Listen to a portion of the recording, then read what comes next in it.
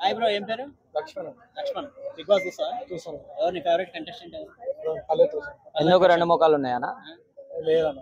ప్రశాంత్ జెన్యున్గా ఏడా చేసిన జెన్యున్గా? బాగా చేస్తాడు అన్న ఆయన. అరే ఏం చేసిండన్నా ఆయన ఒక్కటే ఫేస్ చూపిస్తాడు అన్న. ఆ, మీదైతే రెండు రెండు ఫేస్ ఎవడు చూపెట్టిండు? రెండు రెండు ఫేజ్లు మీరు చూపిస్తాడు అన్న. పేరు చెప్పు. ఎవడు చూపెట్టిండు? పల్లవి ప్రశాంత్ అని అంటే చేస్తున్నాడు ఒప్పుకోట. ఎట్లా వచ్చిండు లోపలికి? ఆ నేను బతిమాలుకోనా ఆ నేను స్టోరీస్ పెట్టుకోనా ఇన్స్టాగ్రామ్లో?